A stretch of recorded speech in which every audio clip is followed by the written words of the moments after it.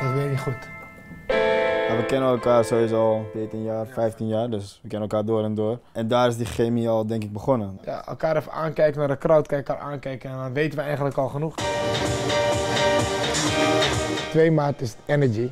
Toch weer een uitdaging voor ons. Ik bedoel, we zijn veel uit Nederland weg geweest, we hebben veel in uh, het buitenland gedraaid, heel veel verschillende inspiraties gehad van verschillende landen. En dan kom je op zo'n groot event terug in eigen land.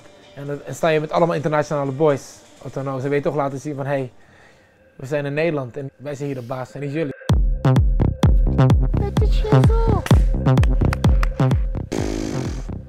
Ik hoorde al die verhalen over de Ziggo maar het is wel echt vet.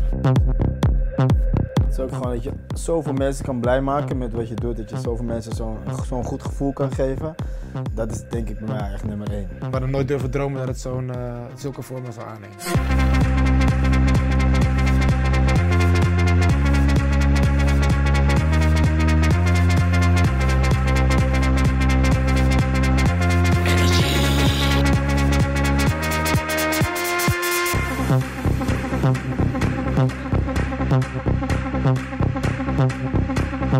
We zijn net geland in Birmingham. Vanavond gaan we los.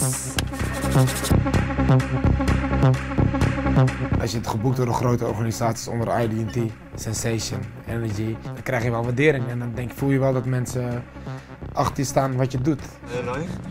Wel een beetje stress in de club. Zoals je ziet, ze bellen al. Waar, waar zijn ze? Waar blijven ze? Tunnery en uh, Ryan zijn de waarheid. En uh, het zijn uh, een van de weinige echte DJ's die nog over zijn. We hebben zo'n eigen geluid, een eigen sound, een eigen vibe, een eigen sfeer.